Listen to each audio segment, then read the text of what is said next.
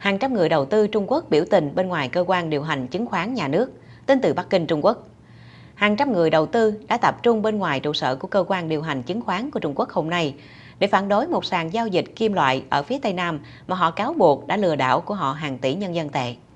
Công ty Fania Metal Exchange nằm ở thành phố Côn Minh thuộc tỉnh Vân Nam, phía Tây Nam của Trung Quốc, được chính quyền địa phương hậu thuẫn thực hiện giao dịch 14 loại kim loại bao gồm indium, bismuth, tungsten, antimum và carbon. Có đến 220.000 người đầu tư trên toàn thế giới bị thu hút bởi giá cả tăng cao, đã mua các loại trên sàn giao dịch, nhưng nhu cầu đối với kim loại đã giảm trong năm nay do nền kinh tế đang chậm lại.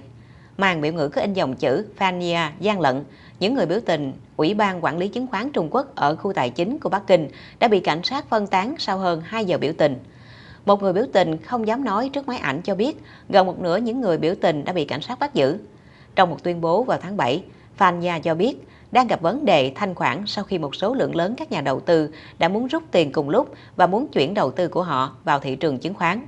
Một nhân viên của Fania xin được giấu tên nói với đài Reuters hôm nay rằng các nhà đầu tư đang rút khỏi công ty, nhưng cô từ chối nhận rằng công ty đang có vấn đề thanh khoản và nói các giao dịch vẫn đang diễn ra bình thường. Tháng trước, những người đầu tư tức giận đã bắt chủ tịch Fania San Jiuliang trong khách sạn của ông ở Thượng Hải và giao ông ta cho cảnh sát địa phương. Ông này sau đó đã được thả. Jan và vợ ông Zhang Peng cũng là phó chủ tịch và giám đốc Fania đã mua 20.95% công ty sản xuất phim Imagine International Holdings Limited liệt kê trên sàn chứng khoán Hồng Kông với giá 543 triệu đô la Hồng Kông vào tháng 9 năm 2014.